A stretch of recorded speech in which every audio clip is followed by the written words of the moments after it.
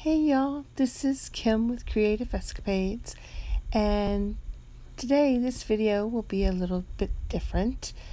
Um, I thought I had lost this video, and I found it today buried in all my hundreds and hundreds of videos that I've done, and um, I was so happy because this was a family fun night that we had.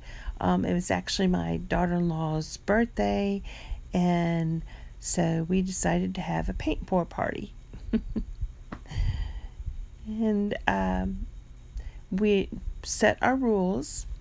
Um, each one of us picked out one color, and then we had black and white, which you had to use at least one of them. You could use both if you wanted to.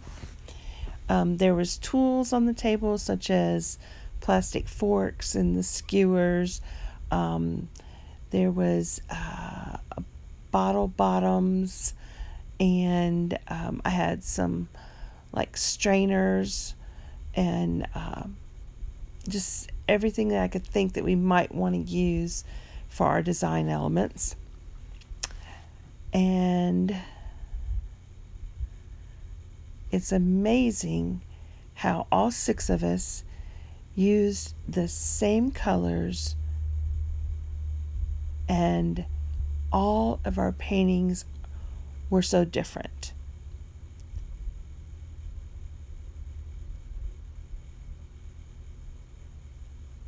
They were so unique. If you're looking for something fun to do, with your family or your friends. We had a blast doing this. We really did. Um, it was a little crowded and messy around the table. There was six of us here on the work table, and um, I covered it up with a plastic tablecloth because I knew there'd probably be a good bit of paint. Um, I mixed all my paint up ahead of time after they chose their colors and um, had everything ready so that we could just sit down and have some fun. And believe it or not, nobody wiped paint on anybody.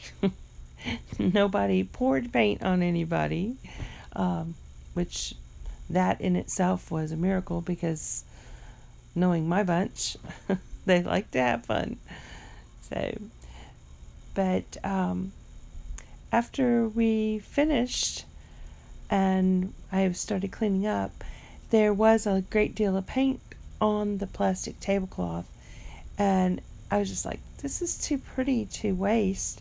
So I ran and got some ceramic coasters and I got five full sets of coasters out of the leftover paint. So that's a plus. And these are all the different paintings each one of us dead. So cool, so unique.